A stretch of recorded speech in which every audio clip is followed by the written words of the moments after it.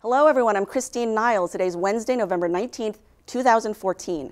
A brief warning that one of our stories today is of a graphic sexual nature. Viewer discretion is strongly advised. Here are latest headlines from churchmilitant.tv news.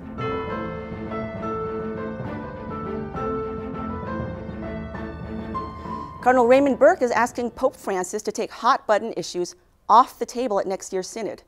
Addressing a group in Ireland over the weekend, Burke said topics like cohabitation, gay marriage, and communion for the divorced and remarried distracted from church teaching.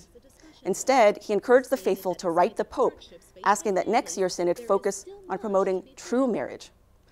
Burke said he refuses to use the phrase traditional marriage. In his words, quote, is there any other kind of marriage? I fear that by using that terminology that we give the impression that we think there are other kinds of marriage. Well, we don't. The head of ISIS is apparently still alive and calling for, quote, jihad everywhere, close quote, against Christians, Jews, and atheists. Following reports he died in a bombing, ISIS leader Abu Bakr al Baghdadi has apparently released the message to assure Muslims he and his mission are still strong.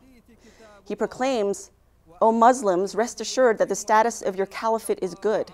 Its advance will not be stopped. And God willing, it will spread throughout the world, even if the disbelievers oppose it.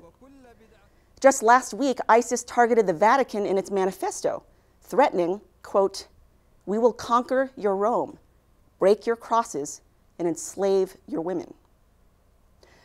Explicit sex acts, drug use, and internet pornography, all on display at an Oregon sexual education conference.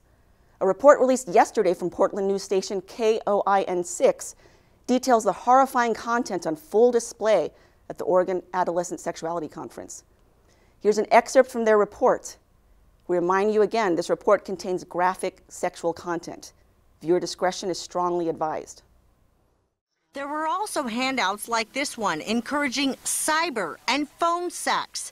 They went on to suggest things like bathe together, shave each other, wear each other's underwear, role play, lap dance, or strip tease, buy an XXL pair of pajama bottoms and sleep in them together.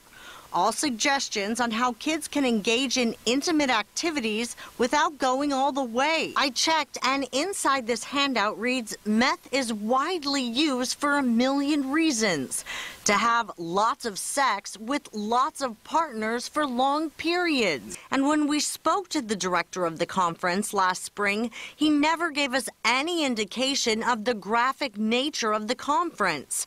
So after I was given the audio and pamphlets, I requested an interview and asked him about it. During this teledildonics uh, session, the speaker spoke about uh, masturbating via Skype. Is there a concern that that could possibly you, be recorded? Is this interview going to go all down this line the whole time, Carla? Because if it is, I'm walking out.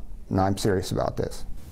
I am. These are legitimate questions. No, they aren't legitimate questions. Brad Victor is partially paid with state funds to put on the Oregon Adolescent Sexuality Conference in Seaside. I learned Brad Victor has two state agencies supporting him.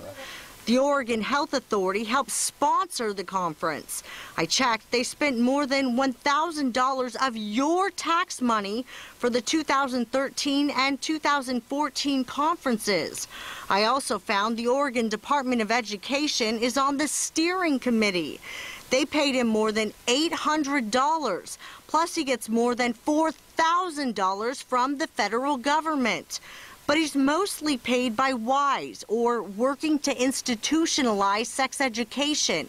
It's a private grant from a private foundation. The material that is passed out at this conference is dedicated to preventing teen pregnancy, prevention of STDs, and also developing healthy relationships.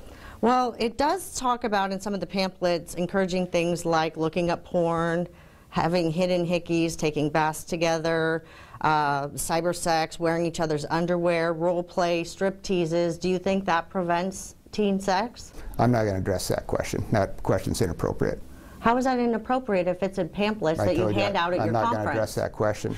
While he refuses to give an answer, this student tells me what she saw go on in the name of healthy sexuality was shocking. I felt really just horrified and unsettled by it all. There was a session where students were taught how to put a condom on, but what got to her was the workshop where the speaker brought students to a porn website and taught them to program the virtual women.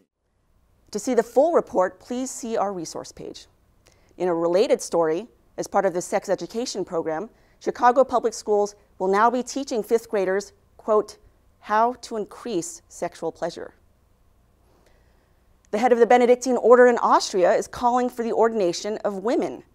At last Saturday's conference, titled Women in the Church Equal Dignity, Equal Rights, the abbot appealed to Pope Francis to allow it. The conference was made up of dissident church groups, as well as feminist theologians and sociologists. The bishop of the Diocese of St. Polten is not responding to the abbot's comments, nor has he condemned the heretical conference. In response to climbing infanticide rates in South Korea, one local pastor is saving hundreds of lives. Pastor Lee Jong-rak of Seoul, South Korea, has created a drop box for unwanted children. Women who don't want their babies for whatever reason are encouraged to drop off the child in a safe box attached to his home. So far, hundreds of children have been saved. A movie's been made about the pastor called The Dropbox and will be airing in March of 2015. I'm Christine Niles. Those are your headlines from churchmilitant.tv. Please watch The Vortex today, where Michael examines how true evil operates. Thanks for tuning in. Please share churchmilitant.tv news with your friends. See us on Facebook and Twitter, and may God bless you.